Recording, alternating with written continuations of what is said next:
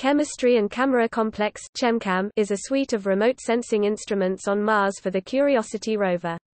As the name implies, ChemCam is actually two different instruments combined as one, a laser-induced breakdown spectroscopy and a remote micro-imager telescope.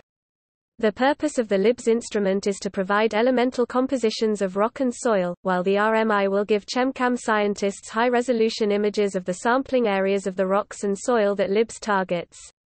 The LIBS instrument can target a rock or soil sample from up to 7 meters 23 feet away, vaporizing a small amount of it with about 50 to 75 5 nanosecond pulses from a 1067 nanometers infrared laser and then observing the spectrum of the light emitted by the vaporized rock.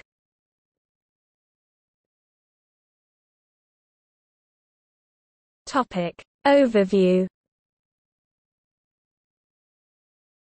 ChemCam has the ability to record up to 6,144 different wavelengths of ultraviolet, visible, and infrared light. Detection of the ball of luminous plasma will be done in the visible, near UV and near infrared ranges, between 240 nanometers and 800 nanometers. The first initial laser testing of the ChemCam by Curiosity on Mars was performed on a rock, N165 Coronation Rock, near Bradbury Landing on August 19, 2012. The ChemCam team expects to take approximately one dozen compositional measurements of rocks per day, using the same collection optics. The RMI provides context images of the LIBS analysis spots. The RMI resolves 1 mm (0.039 in) objects at 10 meters (33 feet) distance and has a field of view covering 20 centimeters (7.9 in) at that distance.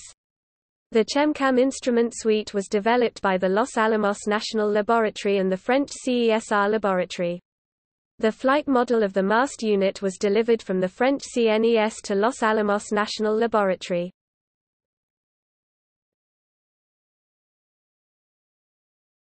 Topic: Images. Equals equals see also.